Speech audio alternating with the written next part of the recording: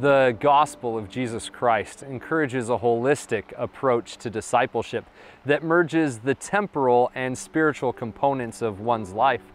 Paul seems to reflect on the benefits of such an approach in his epistle to the Corinthians.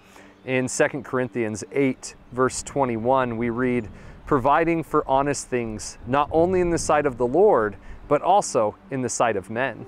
Here in ancient Corinth, Paul may have learned the benefits of this holistic approach as he worked as a tent maker in a shop in a nearby market. Here, he would have had the opportunity to engage with people professionally that also may have been interested in the spiritual nourishment he was attempting to provide in his ministry.